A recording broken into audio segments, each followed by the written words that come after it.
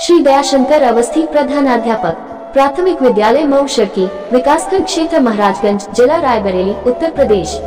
की ओर से सम्मानित क्षेत्र वासियों अभिभावकों एवं जनपद वासियों को दीपोत्सव पर्व दीपावली की हार्दिक बधाई एवं शुभकामनाएँ।